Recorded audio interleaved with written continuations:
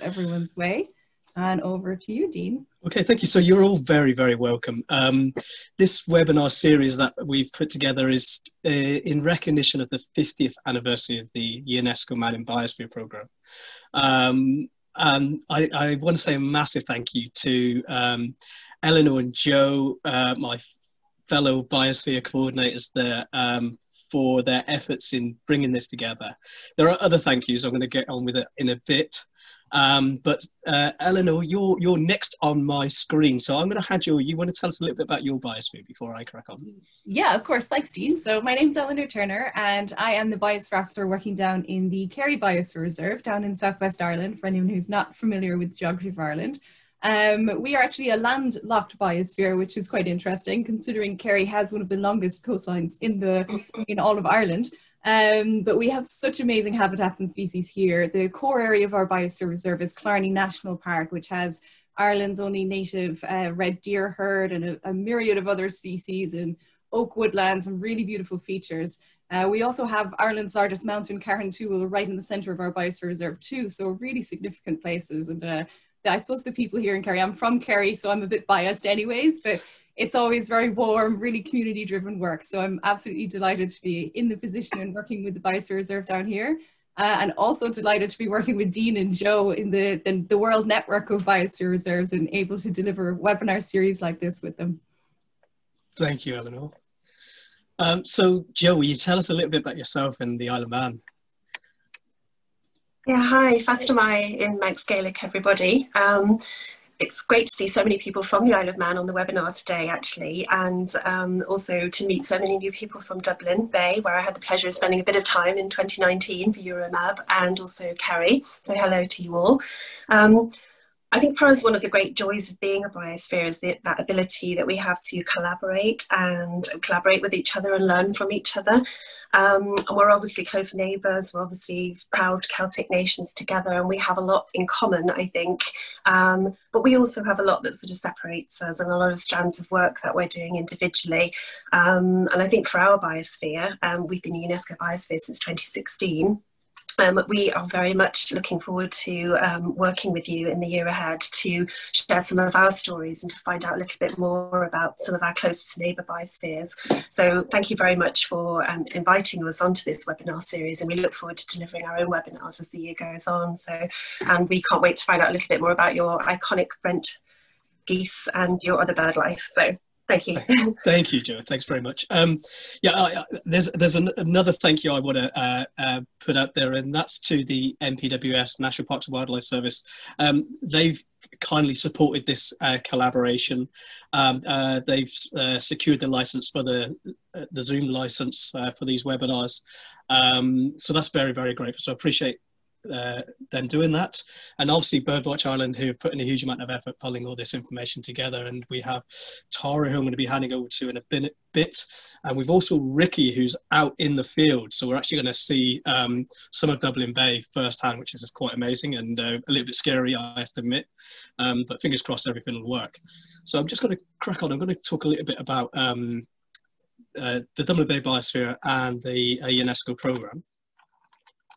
So now. there we go.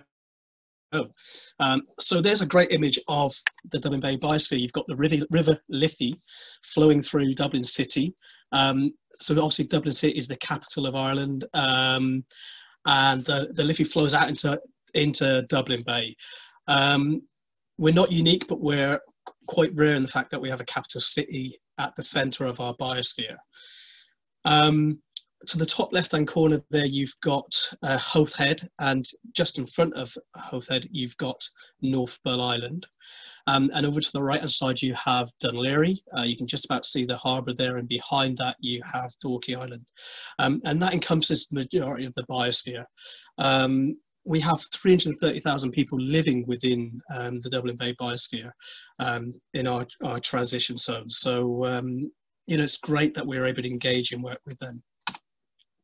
So just a couple of images, particularly for those who are not from Dublin, and, um, and obviously quite a few of you are.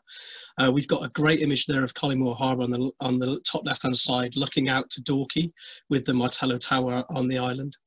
On the top right-hand side, you have Howth, uh, harbour. Great little image um, there of uh, some of the fishing boats and the sailing boats. On the bottom left, you have um, Laoghaire Harbour um, and Bandstand, and on the bottom right, you have another image there of North Bull Island. So, you know, what is a biosphere? I mean, biospheres are internationally recognized for their biodiversity. Um, they're important sites for nature conservation. Um, it's a designation by UNESCO, um, and it was launched in 1971. Um, the program was first muted in 1970, but it was officially launched in November 1971. And there are currently 714 biospheres in 129 states. Um, so we're part of a really big, fantastic network um, where, you know, where we can learn and share ideas with each other. Um, so the UNESCO biosphere goes, uh, the primary goal is conservation. We have to have something obviously worth protecting. Um, but also um, biospheres are about sustainable development. So we're supporting the local economy, people who work within the biosphere. Um, that's primarily um, adventure tourism providers, but not wholly. Um, and then there's the learning and uh, learning element. So we need to understand what's happening in our biosphere so that we can manage them properly. But we also need to share that knowledge, and that's part of what this uh, presentation today is all about. Um, so a little bit about the Dublin Bay Biosphere Vision. I'll read it to you there. Uh, it's to celebrate and promote a wider appreciation of the natural and cultural heritage of Dublin Bay, to capture the inherent passion of the community for the biosphere concept, and for the Dublin Bay Biosphere to be an example of a, a new wave of biospheres in the World Network. And we're certainly hoping that we'll have some more um, Irish biospheres in the near future. Um, a second part of the vision is um, the Bay, Bay Biosphere will be recognised and valued as a place where people, nature and culture connect and where residents, visitors and businesses directly contribute to the conservation of their natural, cultural and built heritage through everyday actions. The Biosphere will support a strong local economy based on ecotourism and responsible recreation, where statutory NGO business, community and environmental stakeholders work in partnership for a sustainable future. Um, the whole purpose of this is people and nature connecting. And that can bring its own challenges and i think that's something that will be covered during the next presentation. So i'm going to stop sharing my screen and i'm going to stop talking and i'm going to hand you over to tara. So tara it's all yours. Thanks william.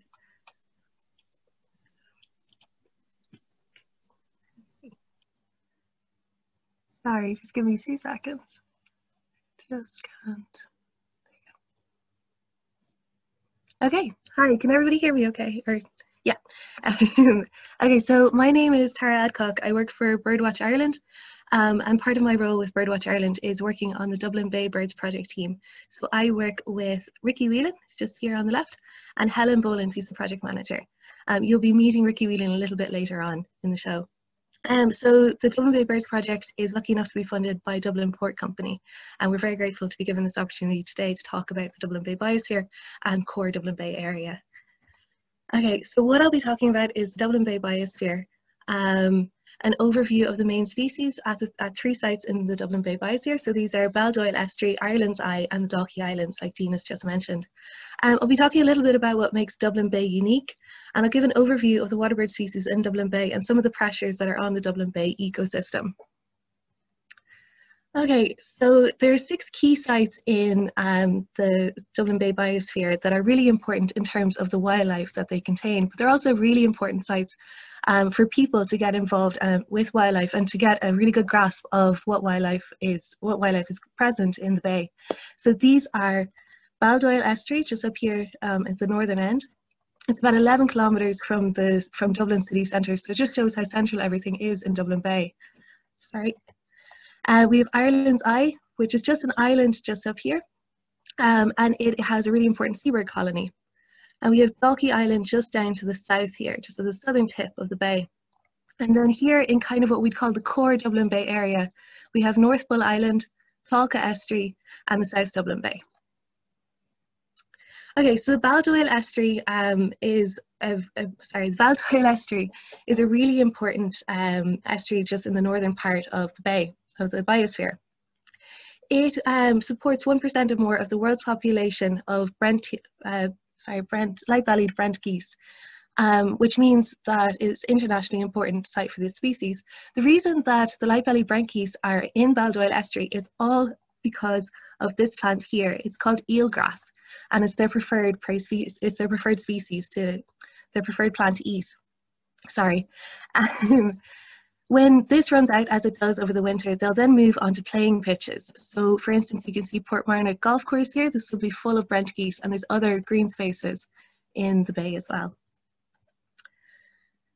Um, Baldoyle estuary is also important for five other species, um, so nationally important levels of these species occur here. So this means that 1% or more of Ireland's population of these species actually occur in Baldoyle estuary um, during the winter months. So these species are shelduck, bar-tailed godwit, grey plover, golden plover and ringed plover. And ringed plover are arguably the cutest of the um, wading birds in Dublin Bay. Moving over to Ireland's Eye, we this is a really important seabird colony. So the largest of the seabirds on Ireland's Eye is the gannet, and it, it has a wingspan of two meters, making it the largest seabird on the island.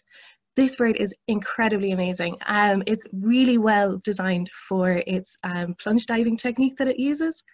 Um, so basically it has like a built-in crash helmet in its head um, because the bones in the head, in the skull, are so thick that when it dives into the water at 100 kilometers per hour, it actually uh, protects it and makes sure that it doesn't it doesn't break its head. It also has air sacs in its throat, which allows it to protect its, its neck as well.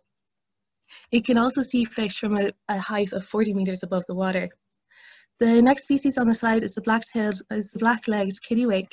Um, this is the smallest of the gulls, and it's the only gull that's truly pelagic, i.e. it lives out at sea for its um, outside of the breeding season. So it's completely at sea during um, outside the breeding season. The third species we have is the fulmar. Um, fulmars arrived into Ireland in about 1911 and it's thought that they came here following ships from Wales. The way that fulmar hunts is really interesting because it can smell its prey. So it can smell plankton, it can smell other species, um, and it just follows its nose along. Um, the third the third species we have is the razorbill. So razorbills, black, common guillemots and puffins are all part of the auk family. Um, razorbills and common guillemots have a really interesting parental strategy. So the fathers actually take off with the young um, after a couple of weeks once the chicks have left the nesting colony and they will go out to sea with them and um, they'll go out to sea with them and teach them how to fish while the mother gets to take it easy. So she just leaves completely. Puffins, on the other hand, have a bit more of a tough love approach. So after a few weeks, and to a couple of months, they just abandon the young in the burrow and the young have to make their own way out to sea and learn how to do everything on their own. The final species that we have are the shag and the cormorant.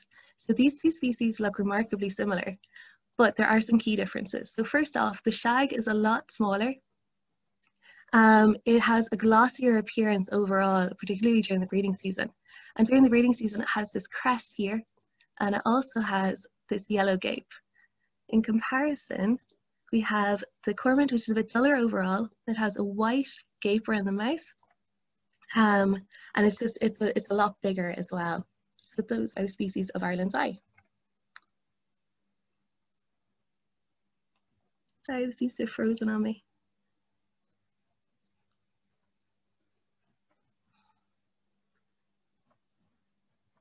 There we go. Um, this is just a video of a shag swimming in the water. You can just you can see just how comfortable and fish-like they are in the water.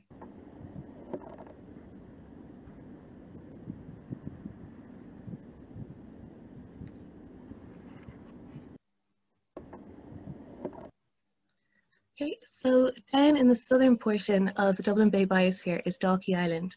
Um, so Dalkey Island is home to a really important tern colony.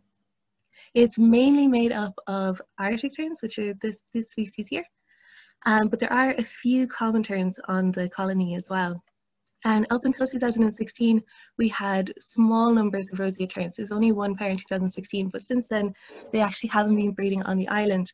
And Birdwatch Ireland, um, in partnership with Dún Laoghaire County Council and in the past with the EU Life Project, has been working really hard to try and get the roseate tern to come back to the island. I'll be talking a little bit more about terns later on, and I'll go into the IDing of them then. Okay, so in, in Dublin, when we're talking about Dublin Bay, what we're typically talking about isn't the biosphere as a whole, but this core area, this core area here. So, Starting from Sutton at the north down to Laoghaire down here at the south. So when I'm talking about Dublin Bay from now on, I won't be talking about the biosphere as a whole, I'll be talking about this core area. So the species that I'll be talking about will be occurring in this area here. They do occur in Baldoyle Estuary as well, but I'll be talking specifically about the ones that are in this area. So Dublin Bay, as we're, as we're referring to it now, is composed of, um, of three core areas. This is North Bull Island up here to the north. This is the Tolka Estuary and South Dublin Bay. But what makes this portion of Dublin Bay so special? First off, it's a wetland ecosystem. So a wetland is an area that is covered by shallow water either all or some of the time. And it's really important for water birds. These are birds which wade or swim in water and are dependent upon water for their survival, i.e. for food. Um, globally, we're losing wetlands three times faster than forests, which makes Dublin Bay all the more important to protect. And it makes it all the more special, both on a national and also on a global scale. It's one of the top five waterbird sites in Ireland, so consistently, um, Dublin Bay is turning up as one of the top five waterbird sites in Ireland. Um, and the reason for this is because of the huge amounts of birds that we get in the bay over the winter. The average is about 29,000 um, per year. Because of the huge numbers of birds that actually overwinter in Dublin Bay, Dublin Bay is now designated as an EU Special Protection Area for birds. The importance of this is that it means that Ireland has a legal obligation to protect this site, which is really important. The location of Dublin Bay also makes it quite unique. There are several estuaries close by, for example, Baldoyle and Rogerstown estuaries. We've already come across Baldoyle estuary. Also, its setting is quite unique. Um, it is 1.5 million people on its doorstep. Um, Dublin Bay, the Dublin Bay biosphere as a whole is the only biosphere in Europe that's set within a capital city, which is, is quite phenomenal. It also has a large port at its core. Later on in the presentation, we're going to talk a little bit about the pressures that come with having a port at uh, having a port and a really large urban population, bang straight in the middle of all of this wildlife. Um, but for now, we're just going to move on to other parts of special. So it's an important, Dublin Bay is an important breeding area for terns during the summer months. These birds are actually breeding here. They're breeding on man-made structures in the port. And finally, there's a mosaic of habitats in the bay. And this is really important for having a good diversity of species. So for instance, we have the mudflats just here, so of North Bull Island, and also down in Booterstown Marsh and the Tolka Estuary. These are basically just giant fridges. and um, they're just areas where uh, there's lots of food for birds to feed and there's a lot of species which depend upon these. We also have the sand flats here of Dollymount um, Strand and also Sandymount Strand. The, the importance of having this diversity is best seen when we look at um, two species. So there's there's two species that are closely related that I'll, that I'll give some details on later. But one of them uses the sand flats just here, and its cousin uses the mud flats. There's also salt marsh just in North Bull Island, just here, and in Booterstown Strand, which is down, Booterstown Marsh, which is just down here. This is really important um, for birds that are roosting up. Roosting just simply means resting. Um, these areas provide a safe place for them to rest and regain energy lost when they're commuting or foraging, and it's really important that we don't disturb them at these sites. Um, finally, we have playing pitches. Dublin is quite unique in that there's a lot of green space in it, and these playing pitches are really important for species like brent geese, which rely on them um, when the eelgrass runs out. And we have man-made habitats, uh, such as in the port, and these are really important for breeding birds. But now I'm going to hand you over to Ricky Whelan, who is standing somewhere around where this red dot is, and he's going to give you an overview of the bay. Okay, over to you, Ricky.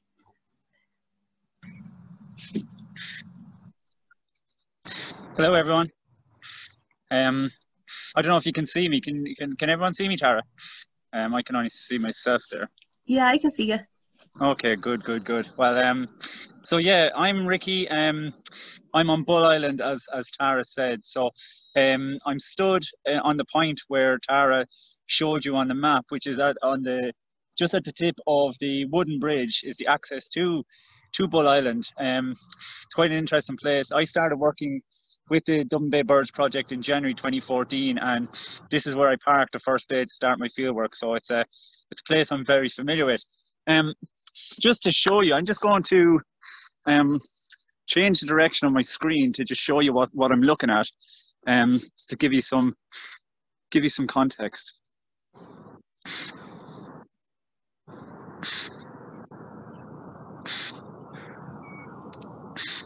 Now, so the tide is still very high, so there's no birds about. There's a few turnstones just down here, um, lovely little birds, and so called because they, they basically turn stones and any debris they can find to find little creatures and crustaceans and things to eat. So, I don't know if you can see them down there, but um, really this is is fairly typical. You can see Clontarf down this way. That's the wooden bridge, and you can see what's uh, as the tide drops the mud flats and the sand emerging. And in the distance there to the right hand side, that paler colour habitat, that's the salt marsh, really important habitat too. And to, to the right of that, you've got um, the sand dune system, which um, there's actually a golf course built there. So it's um, quite interesting. There's two golf courses um, on Bull Island. Um, it's part of it. So Bull Island actually formed in the it, after the the.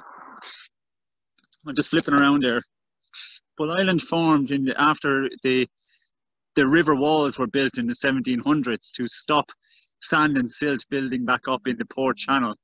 Um, and what happened after that was, as the sand and silt was dumped out further out in the Irish Sea, it was coming back in with tidal action, and it was beginning to form and um, deposit and collect behind the north wall. And it began it, it, developed into an embryonic dune system.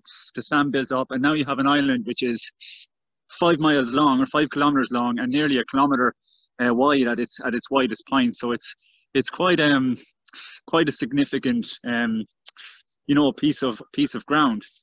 And why the birds are here and why they like it so much is you've got everything they need really you've got um the protection from the sea and the worst of the storms. The, the, the island actually gives that physical barrier.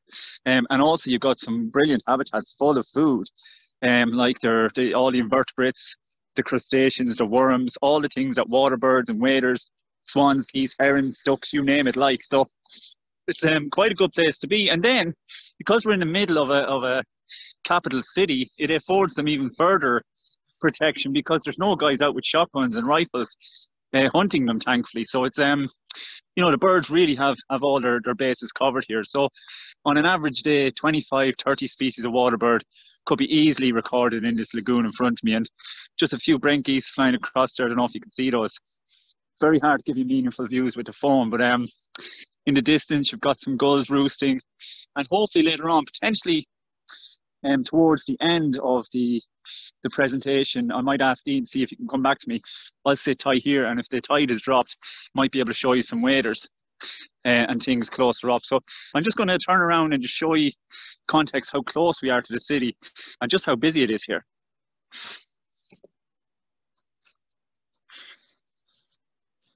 So if you can see in the distance there, uh, in the cr the cranes are in distance. Sorry, I'll straighten this up. In the very distance there, you can see a pile of, of, of cranes and that's like that's the middle of the city centre so that's only a few miles from here what we're looking straight into there is, is the Tolka, um, the Tolka estuary where the, Tolka, the river Tolka comes out from town um, and it meets the Liffey just here to the left. So you can see those towers, they're Pigeon Poolbeg Towers.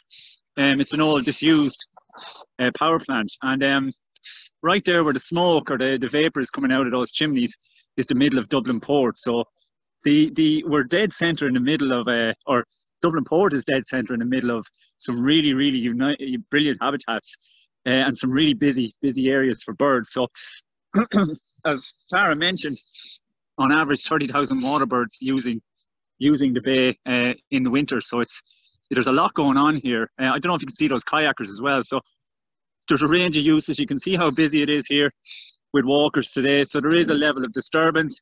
The birds have adapted to too. So and Tara's going to hit on that a bit more later. But um, for now, I just wanted to give you the context, show you the sites, um, and maybe later show you a few more birds. We'll see if that'll work or not. So I'm going to go back to go back to Tara now.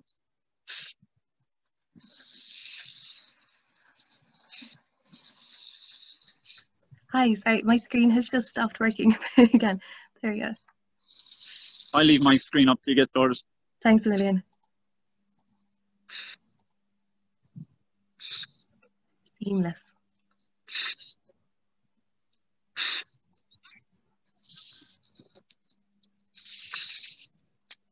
Okay, there we go just have, I don't know if you can see in the distance, I'll keep talking until you get sorted, Tara. The, um, got some mute swans over, over there, which everyone will be familiar with, sort of our biggest water bird. And also, feeding in front of them, you won't see them because they're so tiny, is our smallest water bird, uh, the little grebe, which dive in. They're very hard to sometimes locate because just as you're about to put your binoculars on them or get your eyes on them, they dive down looking for small fish and crustaceans and things. Um, they're, so it's good to see the biggest and the smallest water birds here today. I'm really hopeful now we'll have, have more birds later on and um, um, it's good. So thanks, Ricky. I'm I'm back in again. So all right, excellent. Thanks. Okay.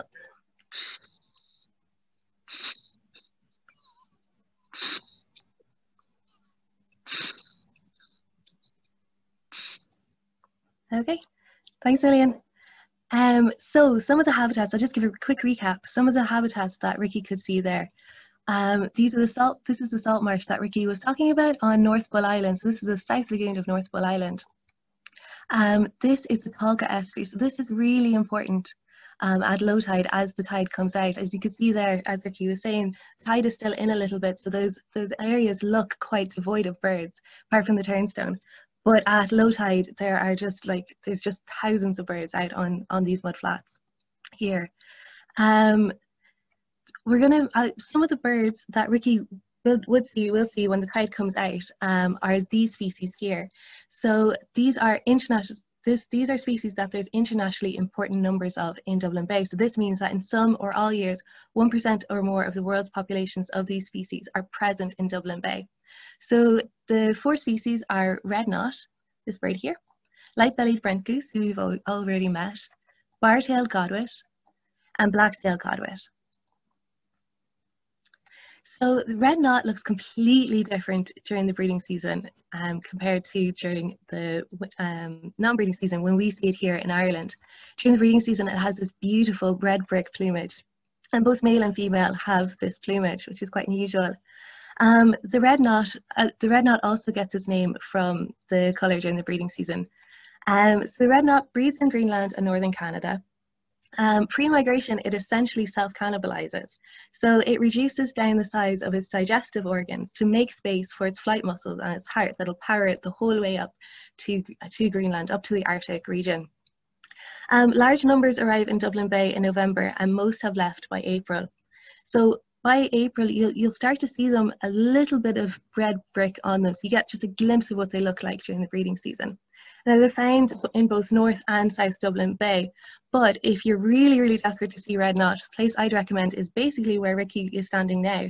It's in Dublin, it's in the North Bull Island, um, in the South Lagoon there. If you just hop onto that wooden bridge and take a look out, as the tide is falling, you'll see them coming out onto those mud flats and feeding. And it's really quite spectacular you actually get thousands of these birds there. They gather in really tightly packed flocks, often thousands, during the winter, just and this is just a strategy to keep warm. So just have a think to yourselves, how many birds do you think would be within this red dot, within this red circle? I'll just give you a minute just to have a quick think about it.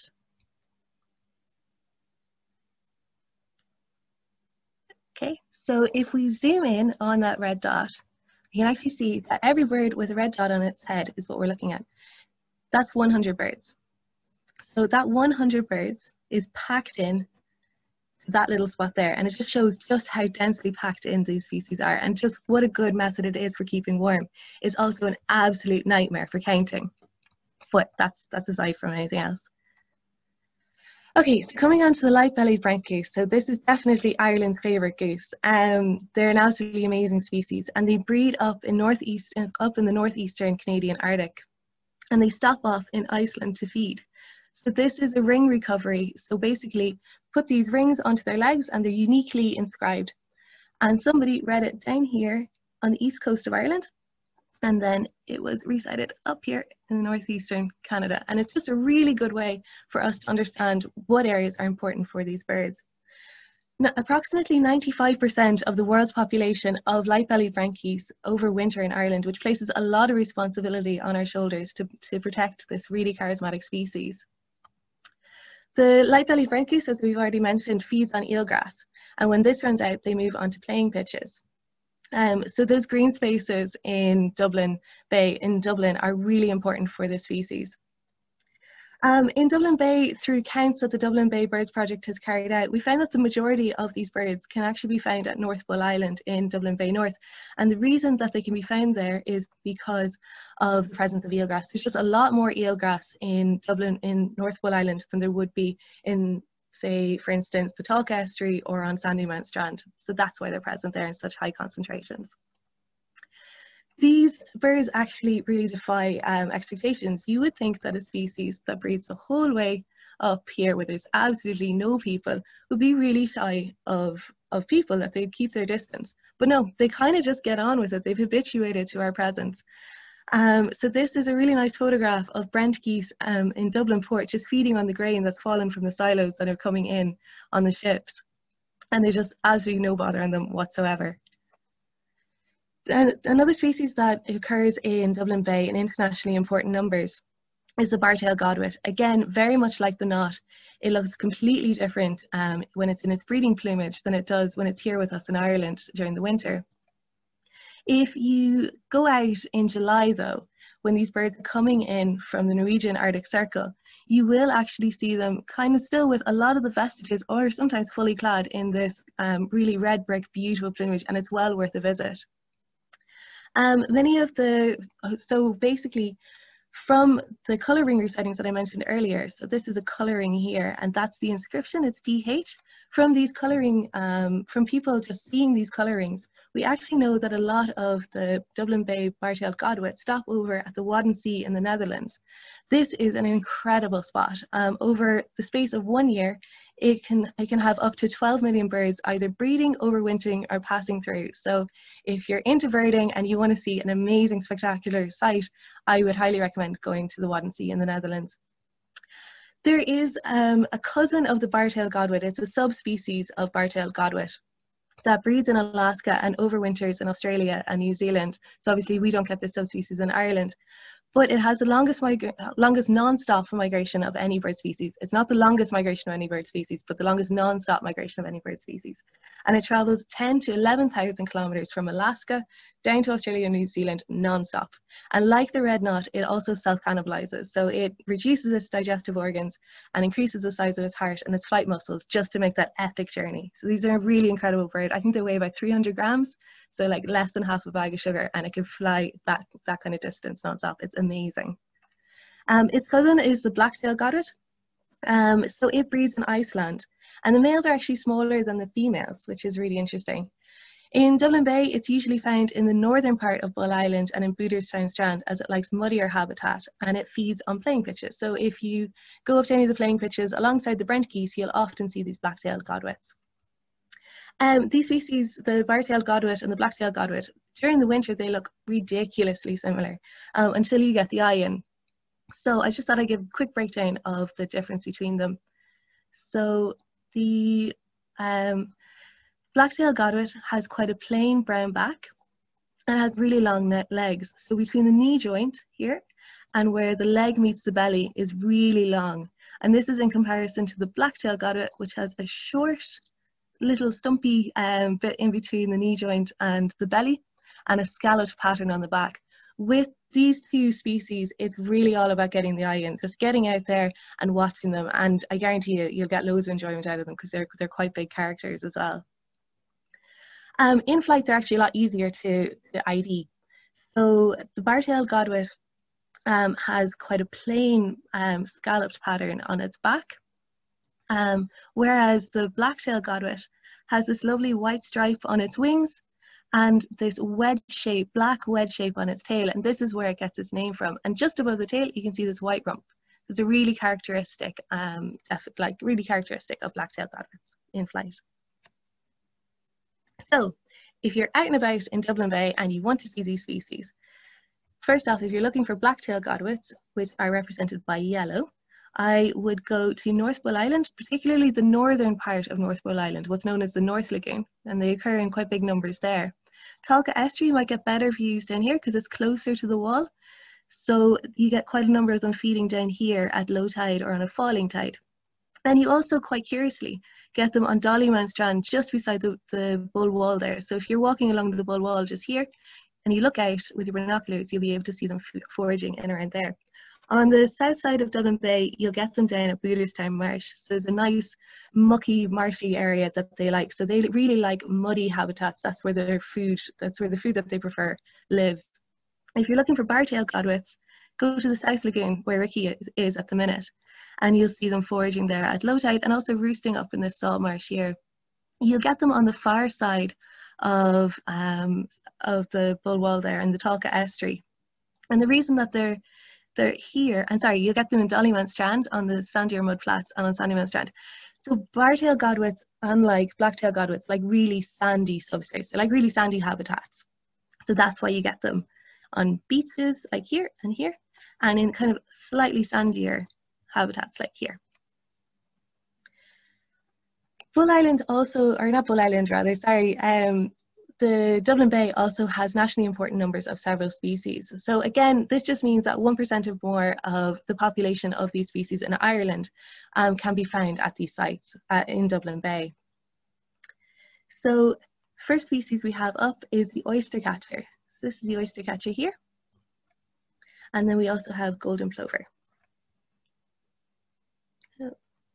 So oyster catcher, um, unlike its name, its, its, name is actually a bit of a lie. Um, oyster catchers don't eat oysters. What they eat are mussel, mussels, cockles, worms, and clams. And the beak of an oyster catcher is shaped by the way it feeds. So hammers, like this guy, they feed on mussels, cockles, and have a shorter, blunter bill. Just from hammering it in, the bill gets worn out over time. And the other other feeding type, so they, we have what's called probers, and they feed on worms and clams and have longer, pointier bills. So this is just a video of an oyster catcher feeding. And as you're watching it, just keep an eye on the bill. It's a really long pointed bill. Um, and I'll just play it for you now.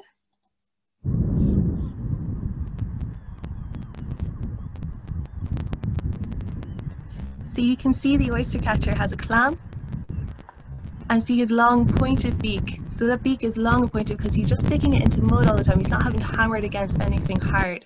And so his beak is able to stay like nice and long and pointed. Okay, so we've been colouring um, oyster catchers in Dublin Bay and they get three colourings.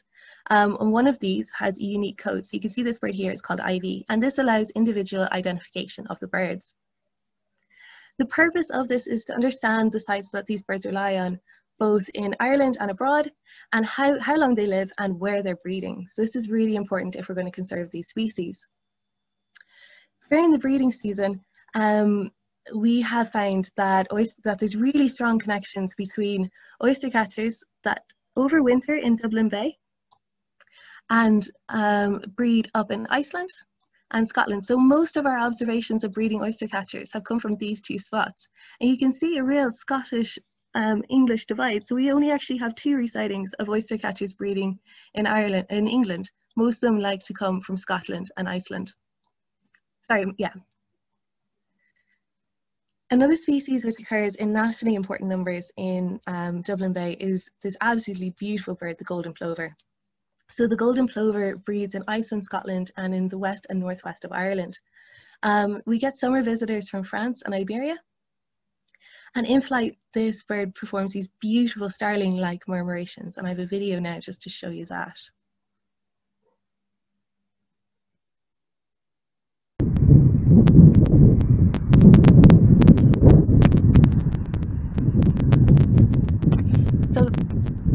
Way that the birds are going to start circling now is an anti-predator defense. Essentially, if a peregrine falcon is chasing them, they can be swooping and diving and it confuses the peregrine falcon and it mightn't be able to pick out one.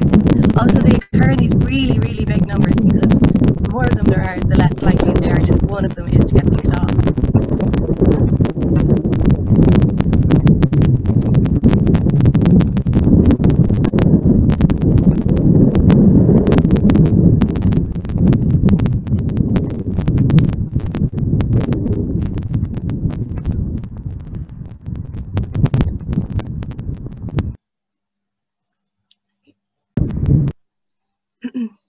So if you're looking for golden plovers, the best places in Dublin Bay to um, see them are again,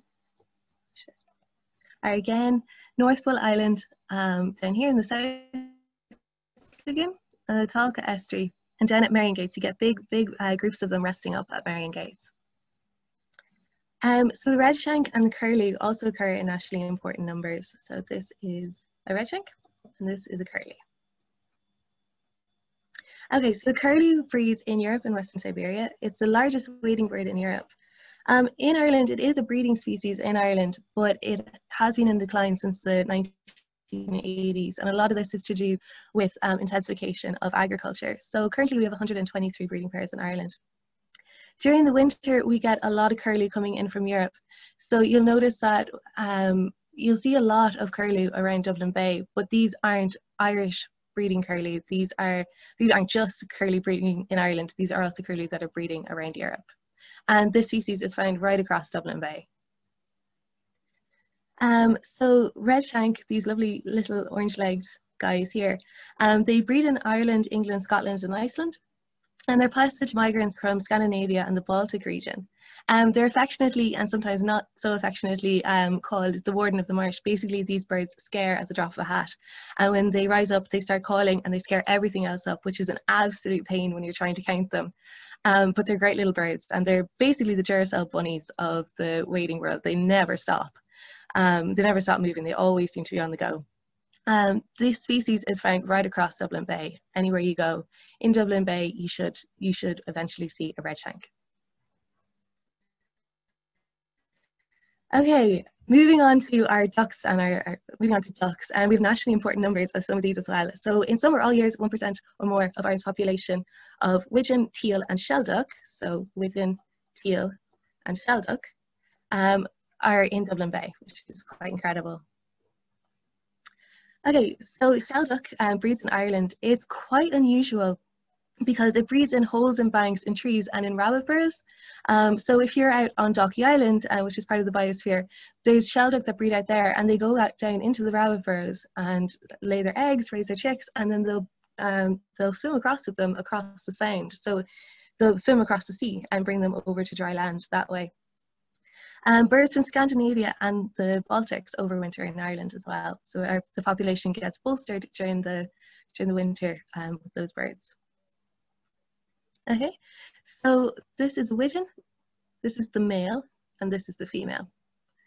So I should have said back here, both the male and female shelduck look exactly the same. And this probably has something to do with the fact that they are in like holes in trees or in rabbit burrows. They don't need to camouflage in.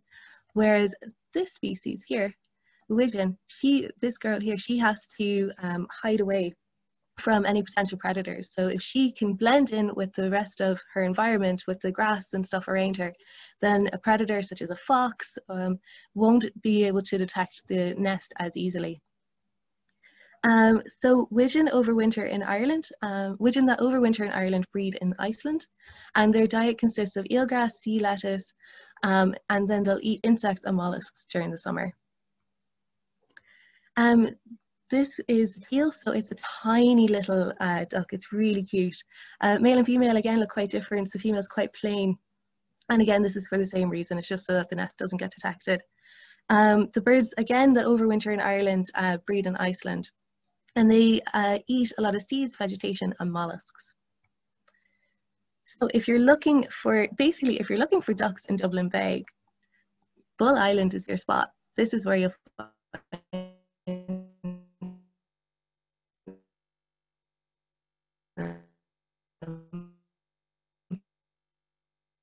um, it's Duck Central. Um, finally, in the finally we have the Dublin Port Tern Colony. Dublin Port Tern Colony is really fantastic. So um, there's around 600 breeding pairs on the island, or on sorry, there's around 600 breeding pairs um, in the Dublin Port Tern Colony, and they are all on man-made structures within the port. Um, I'm just going to show you a quick video of what it's like to approach these these uh, these colonies, and just note that we are approaching them and going onto them because we're, we're working there. We minimize the amount of time that we're there and we're very careful while we are on these, on these colonies.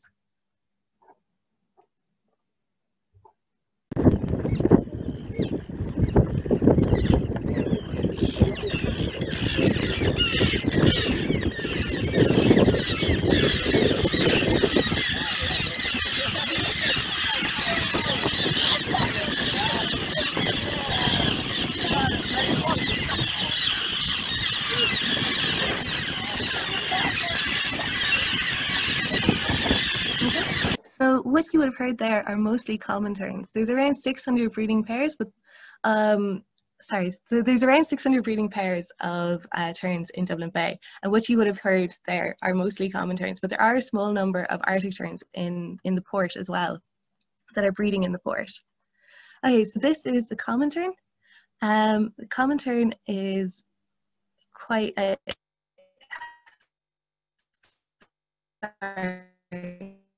this is a common tern. So tern has a black and it has this orange bill with a black tip. Um, it has short tail streamers. So I don't know if you can see it there, but the little white bits coming out, those are the tail streamers. And these are the tail, these are the wings. And it has um, long orange red legs. So this species overwinters um, between Western and Southern Africa, and it breeds across Eurasia and North America. So it is a circumpolar breeding distribution, meaning basically it breeds all across, um, it breeds all the way around the globe, but on the, the northern side, the northern part. Um, what's really lovely about the common tern's name is that it means sea swallow. So basically, common terns have this nickname, sea swallow, and it's because they have this really beautiful buoyant flight.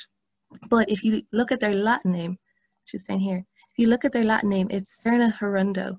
And Sterna means swallow or, or sand martin, house martin.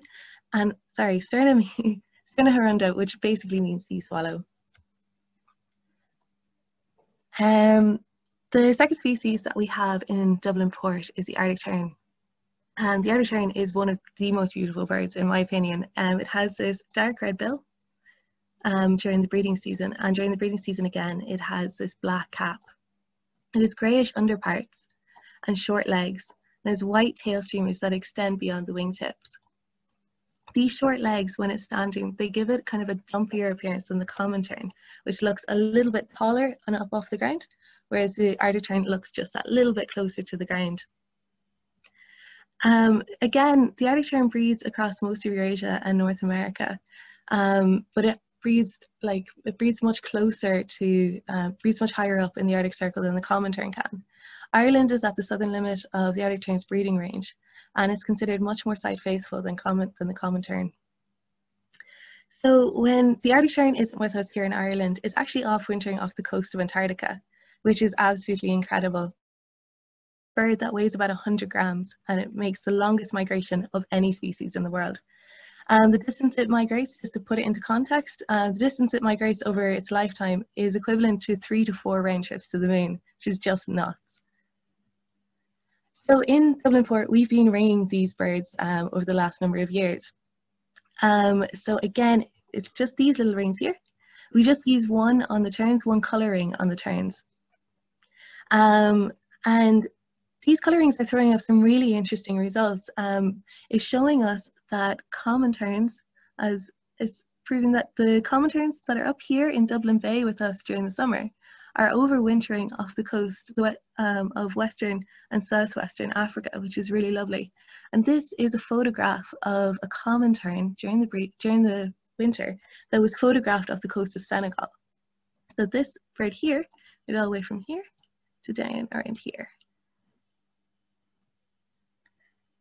Okay, so there are, as I was saying before, there are a number of challenges that come with um, Dublin Bay's kind of proximity to a capital city and to Dublin Port. There are also benefits, as Ricky was pointing out, there's, there's no hunting on the islands and the birds are safer from that kind of thing, but there are some challenges. Um, so the port represents one of the challenges. It's really good for the terns in that the, it provides them with safe breeding, it provides them with breeding space, but also a port is a very, very busy place. Um, you've got a lot of ships coming in and out. You've got a lot of noise pollution associated with that. And around these ships, there's a lot of birds such as the terns who are like diving into the sea and there's a ship just down the way from them or other seabirds doing the same or you have wading birds like these sanderling and dunlin here who are foraging along the shore and boats are coming in along past them or they're trying to roost rest up along the shore and being disturbed. So we don't know what kind of compromises birds are having to make on a day-to-day basis because of the activity in the port. To compound this, there's 1.5 million people sitting right on top of the bay. So all of the nature in all of the wildlife in Dublin Bay is having to coexist with quite a lot of activity and this leads to a lot of disturbances in the bay. Um, and when we think of disturbances, when we see like a dog or a person um, disturbing birds, are typically our attitudes are they're birds, they can fly somewhere else, but they can, but they're still ecologically tied. They're still tied to that place. And also every time they have to get up and move, it wastes energy. It uses up energy that they should have been using for feeding or for roosting. So it's really important basically just to keep our distance from these birds. Um, and just, there's been some challenges. Um, there's been kind of a few losses that have come from disturbance. Um, so on North Bull Island, there used to be a population of hares on the island and these have now gone extinct. We've also lost the little tern colony from North Bull Island as well. Um, so it used to be up at the northern tip of the island. Um, and because of disturbance, again, they just couldn't successfully raise any young. And the grey seal population um, on, on Bull Island, again, is considered under threat because of disturbances, particularly from dogs. So these are just some of the impacts that um, kind of being in an urban environment has had on wildlife in, in the bay. Um, so dogs off lead is kind of one of the leading causes, is, is actually the leading cause of disturbance in the bay um, and one that needs to be monitored. Um, so this is just a quick video of two actually really lovely dogs, but um, and they're just running through, but they're running through a flock.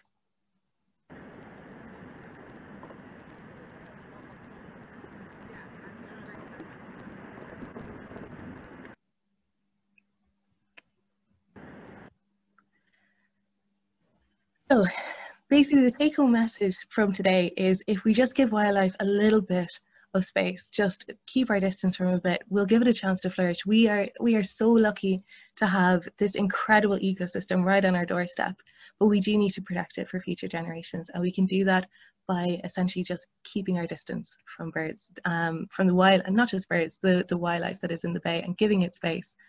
Um, and that's it. So thank you very much for listening. Um, and uh, any questions? And I'll stop sharing now. Tara, thank you so much. Um, I've been looking at the uh, chat and there's been a huge number of um, positive comments. Um, such an informative presentation. Um, you know, a, a, lot of people have taken an awful lot away from this, and I'm delighted that we have the opportunity opportunity to share that again um, you know, through social media channels. That's one of our questions. Is this going to be available? And absolutely, yes, it will. We'll, we'll be posting this up um, and sharing where that can be found via our social media channels. Now, there's Ricky again. Yep. Um, he looks like he's enjoying himself an awful lot, far too much. Now, unfortunately, I I um I lost connection halfway through um, and had to relog, so it was all fun for me. Um, but uh, we're going to try and answer a few of the questions now. Um, I'm going to go straight to um, a question here from Gavin Rothwell, and it covers the last point, Tara, that you were talking about, and it's about that um, disturbance. Um, so, uh, so Gavin, you say um, thanks for organising this. Uh, my question: Is this being done to protect Bull Island from further? Oh, sorry, what is being done to protect Bull Island from further serious biodiversity decline? In the last few years, the island has lost of some key breeding species, including the hare, little tern, and ring plover, etc., all due to habitat disturbance. Um, it's a really uh, a tricky one, and obviously it's a known problem. Um, we we're managing biospheres that people can enjoy them, that they that they can get out there and they can connect with nature. Um, but obviously, we have to manage it so that we're protecting that habitat. And certainly, disturbance is a is a an issue, and um, the dogs is a is a particularly big one. Um, there has been studies on um, on North Island in particular, but as far as I'm concerned, I, am looking at the whole of the biosphere, but I'm going to focus on North Bull Island because that's what you're referencing here. Um, there have been studies uh, on North Bull Island to look at um, you know the issue and maybe what we can do to manage and protect it.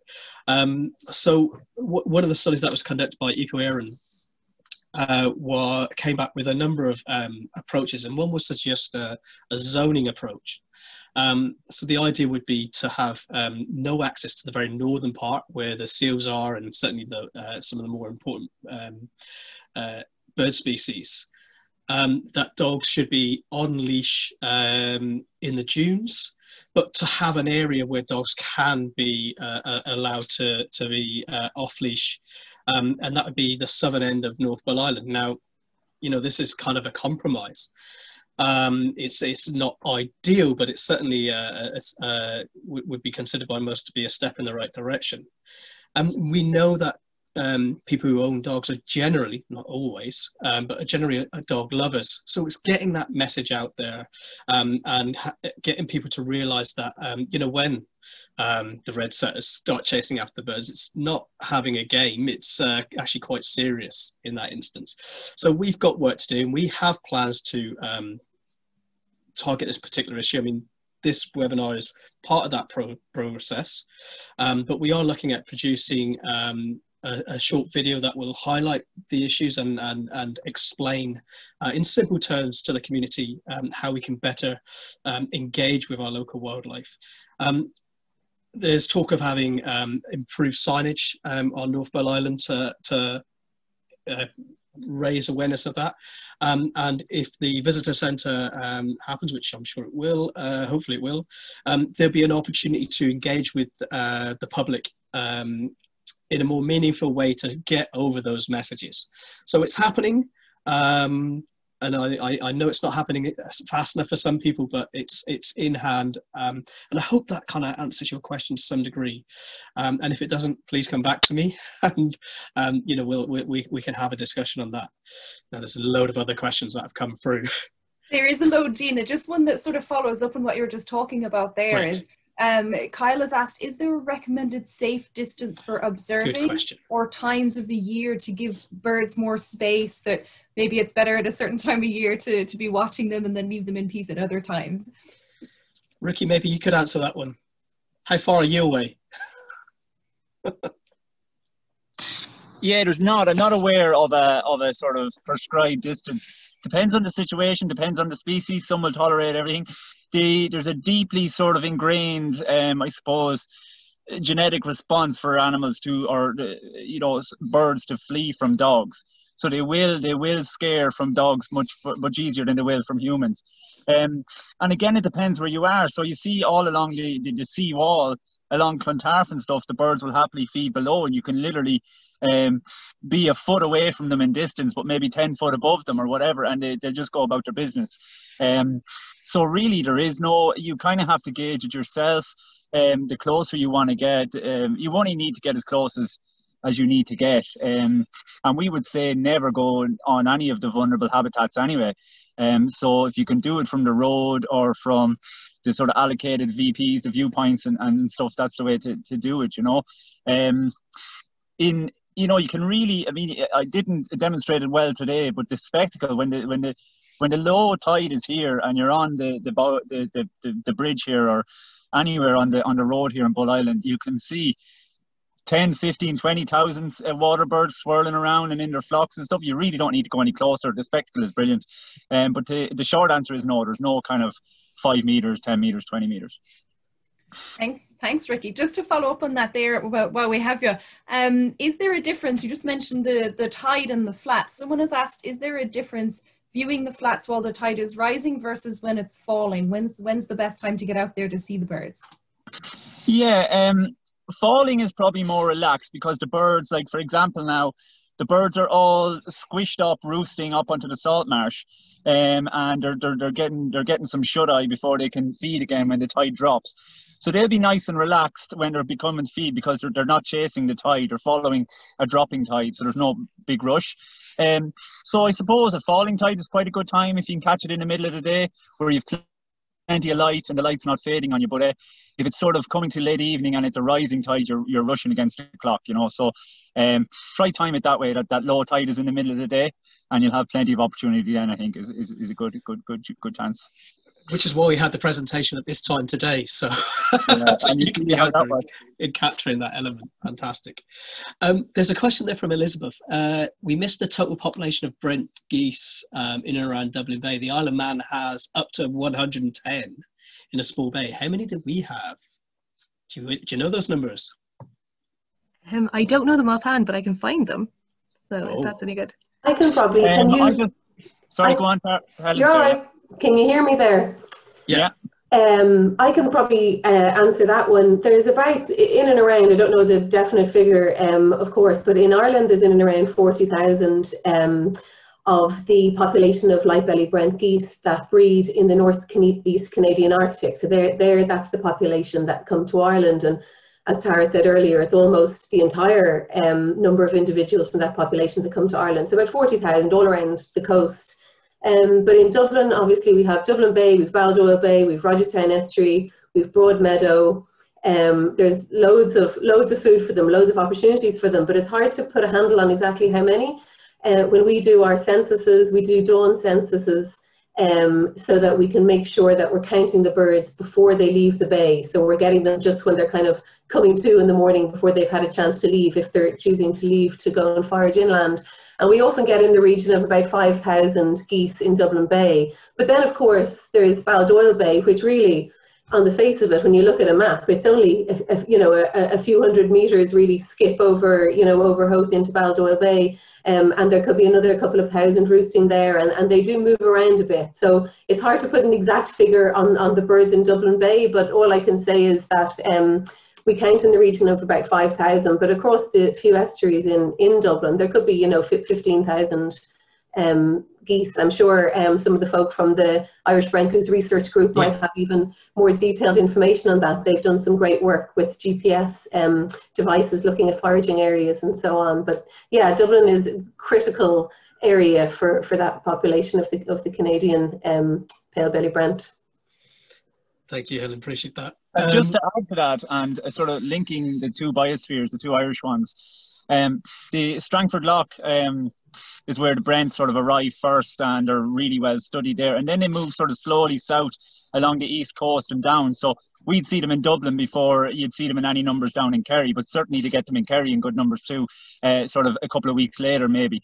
Um, so there's always great excitement when they arrive and. Uh, you know, tweets and, and, and various texts going around when the first flocks begin to arrive. So it's, good. And uh, Yeah, Ricky, just on that, I, I just want to. Um, uh, there was a, a message in the chat there with Anna Rogers, who's um, listening in, um, and Anna's doing some research for a film that's going to be um, uh, covering the Brent geese, and it's aimed at young people, um, uh, primarily um, seven to eleven-ish year olds, and the the movie, the film's going to be called Where the Wild Geese Go, um, and she's actually in Dublin Bay at the moment. Um, uh, capturing uh, information, uh, taking interviews and whatnot else. So that'll be really interesting to really learn a little bit more. And they'll actually be following them from um, the high Arctic to, to Dublin and, and back again. So that's, that's fascinating. Now, Marion Harris has just said, um, please say hello to the Bidens, of course. Um, and they're very welcome back in Ireland and we'd love to see them back in Mayo. And um, actually, we'd love to see a biosphere in Mayo, but that's for another day. Um, so, Marion, uh, and Marion has also actually also pointed out that um, Dublin Bay uh, isn't the only uh, capital city um, with a biosphere in Europe. So, have to say that We- we'd like to be unique, uh, but we're not quite. Uh, but we are quite rare um, and obviously very special. so, thanks very much for that, Marion Harris. Next question: How do you catch the birds to mark them? Who wants to take that? How do you catch them?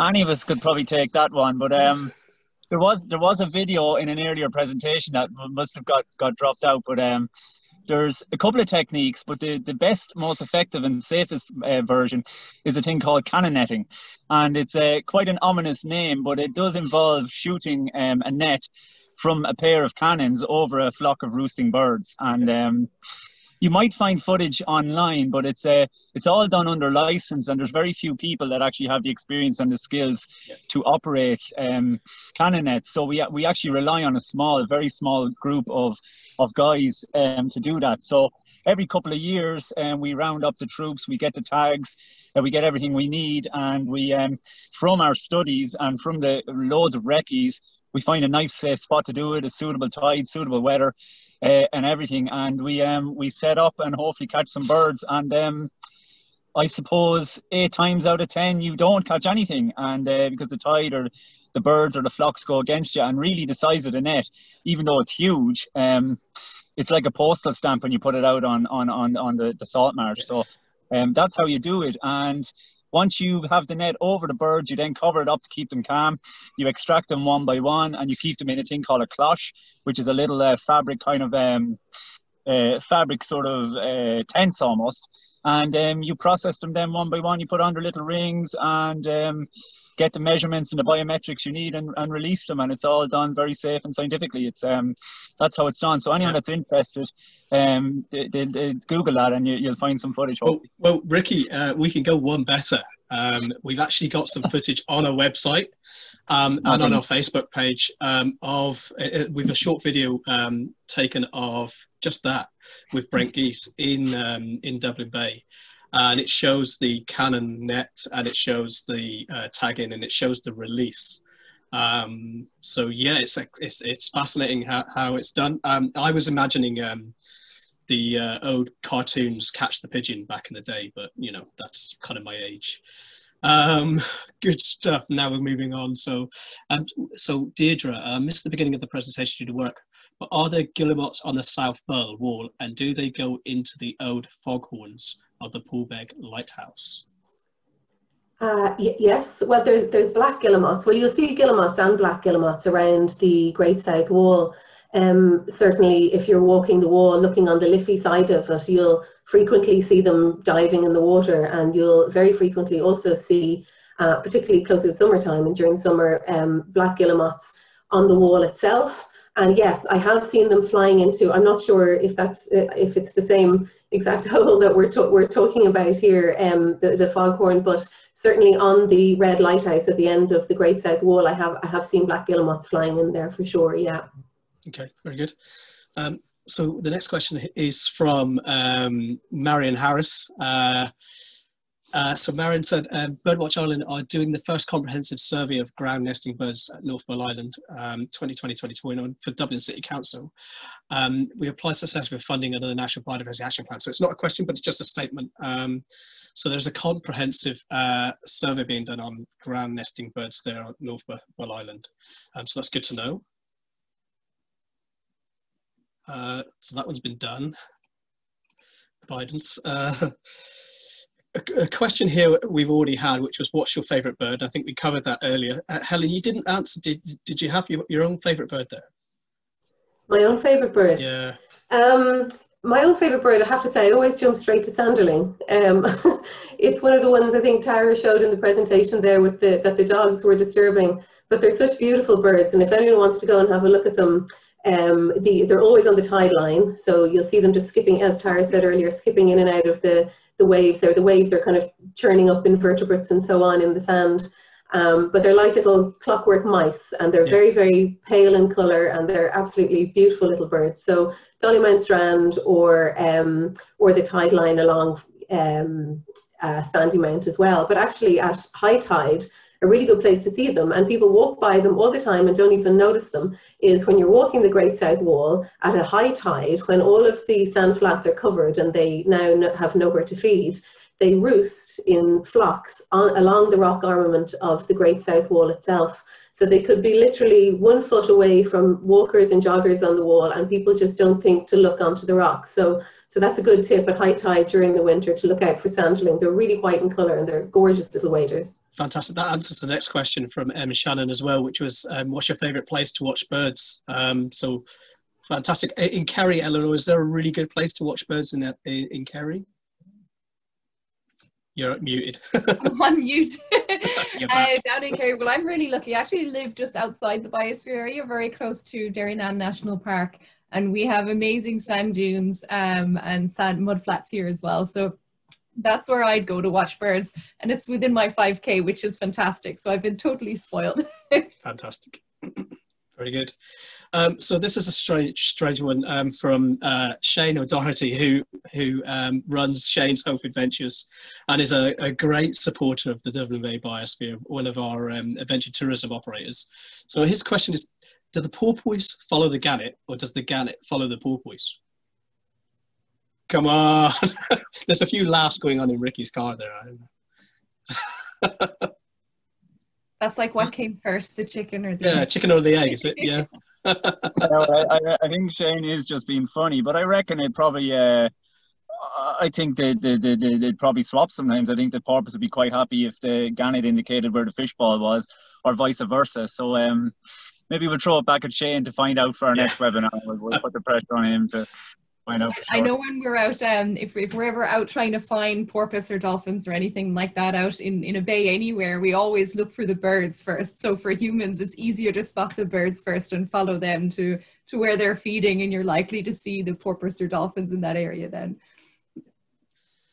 So now this is going to be going to you guys again, uh, Birdwatch Ireland. Um, are rats still a predatory problem for bird breeding sites in the port area? Uh, yes. uh, Tara definitely knows uh, knows an awful lot about this. She's done a, a lot of glamorous work with rats. Um, so Tara, do step in if I'm getting anything anything wrong here. But yeah, in the summertime with um, our work with Birdwatch Ireland and the Dublin Bay Birds Project, we monitor the tern colonies in, in Dublin Port. So there's four different man-made platforms that the birds nest on. Um, and every year we find evidence that rats have managed to get out to these um, to get out to these platforms. Rats are, are very good swimmers. So I didn't realize how good. I thought they might just be able to cover, you know, a few feet or a few meters, but it turns out they can cover quite a distance. Um, so we're lucky enough that they haven't made it out to, there's a platform that the terns nest on. It's a pontoon the Dublin Port Company um, arranged and deployed out there and look after. And it's fantastic because it now has, I think maybe, I can't, I can't think now the final figure, but about 250 pairs of common terns nesting on it in the summer just gone. But thankfully, even though that's quite close, well, about, it's about 150 meters from from the Great South Wall, where I presume there probably are lots of rats lurking underneath the rock armament. But so far, they haven't made it out to that pontoon, which we're delighted about. But there is um, there is the other. I think they've the rats have definitely made it out to to all of the other um, structures that they nest on. So it's uh, it is a problem and it's a hard one to solve. Um, it's something that we're always talking about. There's different things you can do, like putting kind of baffles on the chains that are holding the platforms down to prevent the rats from climbing up, and things like making the chains slippy. But rats seem to um, they're excellent at finding ways around these things, but certainly it's something that we're trying really hard to um, trying really hard to prevent because once they get onto a platform, they just kind of go hell for leather with the uh, the chicks and eggs and so on. So it is a problem. Yeah. Okay, thank you very much for that. Um, so, so we, when we started with eight, nine, eight or nine questions when we finished the presentation, we're now up to 22. Um, so we're going to try and get through them. um, so this is an interesting one. Do shags dry their feathers the same way as cormorants do? Ricky's coming in. Yeah, nice short answer, yes. Yes, fantastic. Okay, I like the short answers. um, so uh, we've got, uh, da, da, da. What are the merits, if any, of making a bridge break in the Bull Island Causeway to permit tidal flow? I, I would you know? I don't know the answer. Yeah, not sure I understand the question. There was um, the causeway. So when I had when I was sharing my screen um, earlier, the um, probably show you now. So way out there in the distance, um, I don't know if you can see the chevron. That's the causeway up there. So it marks the sort of halfway point between the the wooden bridge and uh, so it, what we call South Lagoon is between the causeway and this bridge. And then there's another lagoon North Lagoon as Tara described between there and Sutton should we say or Howth uh, sort of head where that starts. Um, there was back in the day that was it was breached. It was designed for the for the tide to flow through it and it just silted up over time. And um, it was just it was grand. So the tide the tide just escaped either end of the island, so it was left that way. It was never it never corrected, and um, it seems to work fine, and the habitats haven't suffered or anything. So I think everyone's happy to leave it that way. So I don't know if the person asking the question knows more than that or has has reason to believe that isn't the case. Um, but certainly from a bird's point of view, um, it hasn't been on our radar that it's it is a problem in any way.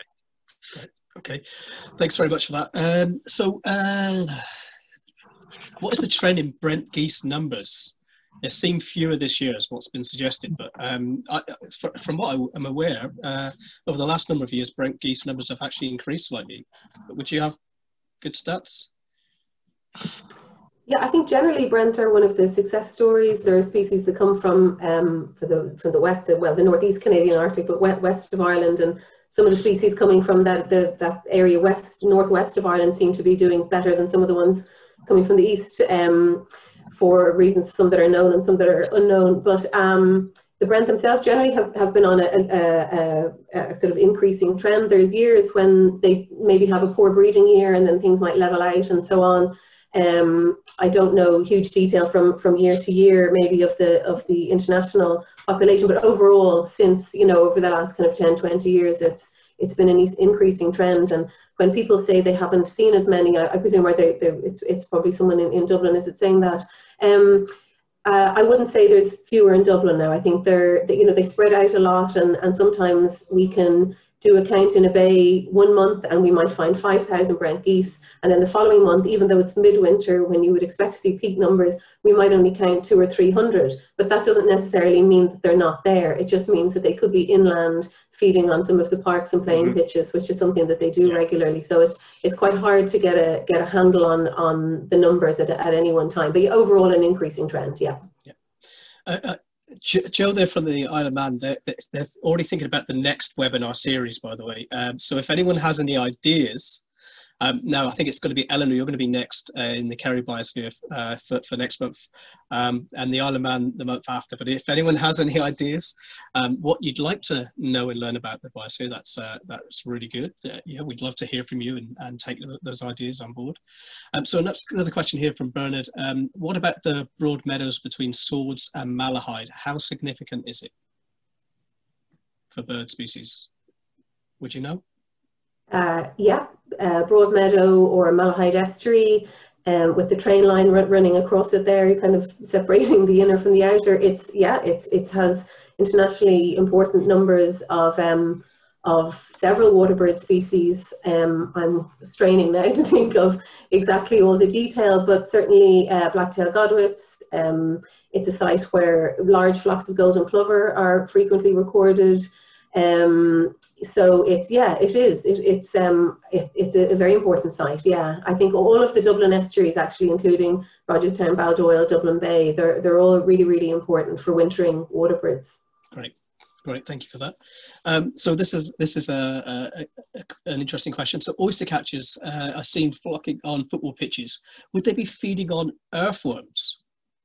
What are they after on the football pitches um, yeah, they should be feeding on earthworms out there. Yeah. Um, so you, yeah, you'll see them feeding alongside curlew as well, and uh, the black-tailed godwit and the brent geese. Um, so the brent are looking for grass, but the rest of them are looking for earthworms and other kind of insects and invertebrates. Fantastic. Nice, quick, easy one. Um, so we've uh, Councillor Cooney here. Uh, what is the best way to protect the nesting ground birds on Bull Island and getting the new management plan quickly written and enacted? Um, so the, the, the Bull Island management plan is is ready to go, and I, uh, I believe there, there's some sort of consultation process that's happening. Um, but what is the best way to protect the ground nesting birds? What are your thoughts, guys? Uh, the best way, and uh, the best way is to cut all access to the island, uh, but that's not going to happen. and so, I mean, that horse has bolted, and obviously, it's so important for for recreation and all that sort of stuff. So, zoning, zoning is a very good. Um, you know, middle ground maybe. Um, it's a good suggestion. I don't know. I mean, can't say it's it has to be discussed, but really, um, if you could, if you could restrict access or um, stop the disturbance and uh, take all the predators out of the situation, you'd have you'd have a perfect situation. But that's that's just not possible um, in this sort of in the modern climate. Um, it's just not. But that's that is the answer. Yeah.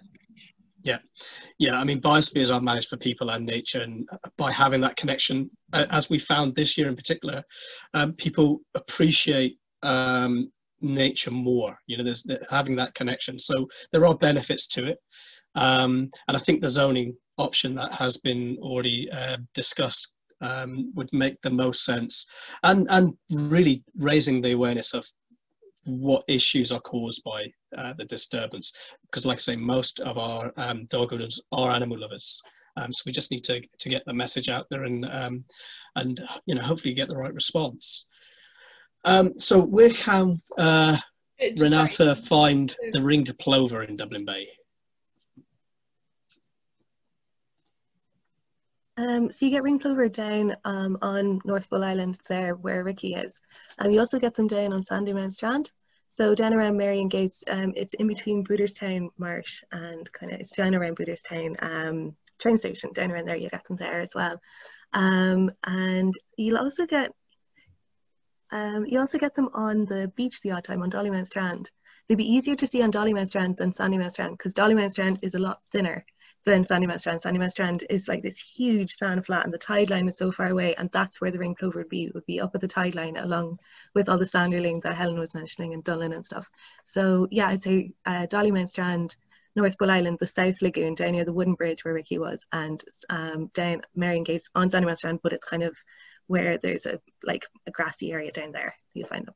Okay. I'll add a caveat though, not not the easiest species to connect with, definitely not. Of all the things we've mentioned, um, it's one of the trickier ones. Okay, uh, so uh, Kyle's asking a question here. Um, uh, does the urban environment have more positive or negative effect compared to estuaries with less urban influence? Eleanor, did you want to No. Any ideas? Again, I could only give an opinion. I think. Um, yeah. I think that insulation um, the, the, the capital city gives it from from certain predators and activities and stuff is, is probably quite a, a, a useful thing. But equally, measure that against the, the pressures that it creates, it's I don't know on balance. I think it's probably negative. Um, yeah. yeah. So yeah, it'd be difficult to say, but um, yeah, I'm well, no, I don't think it's but it's probably negative. Um, Tim's Tim's question is: Is it illegal to photograph nesting birds without a special license? Yeah, that's an easy one. Yeah, it's it's illegal. Yeah, totally. And um, yeah, no, it is. You need a license. Very good. Um, so when the Brents and Godwits moved to Parkland, did they continue to feed on grasses? Um, so the Brent are feeding on grasses, but the, the Godwits, they're feeding, and it's a blacktail Godwit specifically, it's feeding on the worms. The worms. Did it? Yeah, and other Fantastic. Okay, good stuff. Uh, now we're running out of time. See if we can get through a few quick ones here. Um, has there been any noticeable drop in the population with the development of Baldoyle Racecourse and all the green belts surrounding the estuary? That's not a quick one, is it? noticeable drop in, in what, sorry? Uh, uh, bird populations, I would imagine. in relation to the development around that Baldoyle? Yeah. yeah. Uh, no idea. Uh, quick answer. Um, hard, hard, one to monitor. So I, I, wouldn't. That's something you'd have to do a very specific Detailed study on. Yeah. So yeah. no, I wouldn't. Wouldn't have yeah. an answer for that. Okay. Uh, so where are we going? How long does the Eelgrass uh, feast last for the Brent before they have to move off to playing fields? That's a really good question. So they have their their um, feast, and when that's gone, how long is it before that's gone? Yeah, there's no specific answer. Probably depends on the size of the flock that arrives into Dublin and how long and how long it takes them to find the, the, the beds and just just to forage on it. So it's gone when it's gone, really. Um, and then they just head off inland, like you say. So it, it's it's it's it depends. Now, unfortunately, we've run out of time. Uh, look, I mean, the number of questions and the the, the interesting questions has just go, you know, proved, um, you know, what a fascinating, interesting subject this is. Um, now, if you have any other questions that are that are absolutely burning, um, you know, maybe you could direct them to myself at info at dublinbaybiosphere.ie um, or to um, the guys there at Birdwatch Ireland. I'm sure you have a, a, a general email. Would you have a general email that people can contact you at? Yeah, sure. You can send anything to info at birdwatchireland.ie. Fantastic. Or to um, any one of our email addresses, or Whelan for Ricky, H. Boland for me, and T. Adcock for for Tara. And Dean, just to say thanks so much for oh, inviting us to, to do this webinar on behalf of my myself and um, Tara and Ricky. It's really nice and really heartening to see so many people participating and logging in and, and watching it to see such good interest in birds. It's, it's really lovely. Yeah, so thank there, you. There really is yeah, no, thank, no, no, listen, thank you. I'm just going to share screen because I want to, uh, I, I, just want to um, highlight, uh, this is part of a, a Tri Biosphere webinar series. There are going to be more biospheres and we are going to be sharing details of forthcoming biospheres on uh, social media. Um, it's important to thank um, the Isle of Man Biosphere, the Kerry Biospheres for their, their support um, in this and, and uh, their efforts uh, to put the next set of uh, uh, biosphere webinars on. Um, the Department of Culture, Heritage and Gaeltacht and the NPWS in particular for their support. Um, uh, Dublin Port for the support of, of Birdwatch Ireland. Birdwatch Ireland are way above and beyond. Thank you so much. Um, and then obviously the other uh, participants in the um, Dublin Bay Biosphere Partnership, uh, Dublin City Council, Laoghaire-Rathdown County Council, Fingal County Council, uh, and Fáilte Ireland. Guys, everyone, thank you so much for joining us today. Um, I, I, hope you found it as informative as I have done, and I can't wait for the next one. Um, and hopefully you'll join us then. So um, thank you so much. And thank you, Birdwatch Ireland, for such a fantastic presentation. Thank you so much.